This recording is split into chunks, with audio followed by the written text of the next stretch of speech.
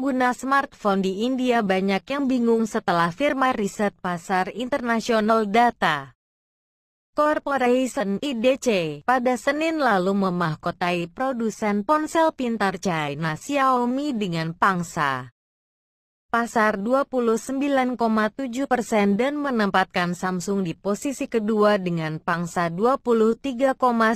persen.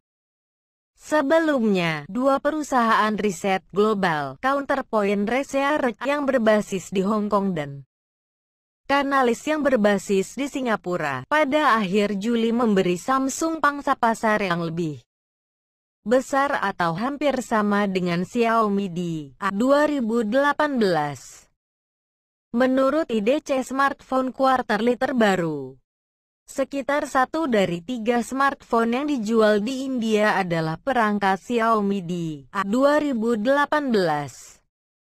Kuartal ini juga menandai pertama kalinya merek smartphone Xiaomi mengirim hampir 10 juta unit dalam waktu tiga bulan.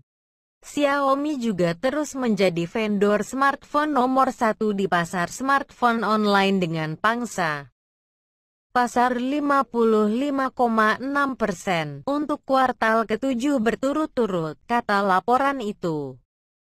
Misi kami untuk menghasilkan produk yang luar biasa dengan harga yang jujur telah mengubah kehidupan masyarakat dan memulai babak baru di era internet seluler di India dan saya percaya kami akan menjadi bagian yang lebih besar dari kehidupan masyarakat, kata Manu Jain. Wakil Presiden Xiaomi dan Managing Director Xiaomi India. Menurut IDC, 4 dari 5 smartphone teratas pada 2018 adalah smartphone Xiaomi, Redmi 5, Redmi Note 5 Pro, Redmi Note 5, dan Redmi 5 terhitung 26% dari keseluruhan pengiriman smartphone. Pasar smartphone India melihat pertumbuhan yang sehat secara keseluruhan sebesar 20%. Dengan total 33,5 juta unit sedang dikirim. Namun, pada akhir Juli, perusahaan riset yang berbasis di Hong Kong Counterpoint Research mengatakan perusahaan Korea Selatan Samsung merebut kembali posisi teratas pada kuartal kedua. Di India dengan pangsa 29% terhadap Xiaomi 28%. Menurut Viris Riset Pasar yang berbasis di Singapura, Kanalis, Samsung mengirim 9,9 juta smartphone di India pada kuartal kedua 2018 mendaftarkan hampir 50% tingkat pertumbuhan tahunan. Yang terbaik sejak kuartal keempat 2015.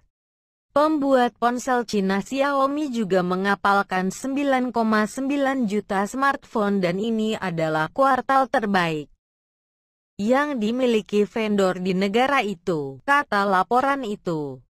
Samsung Galaxy A Pro adalah model teratas pada kuartal kedua dengan 2,3 juta unit dikirim di India.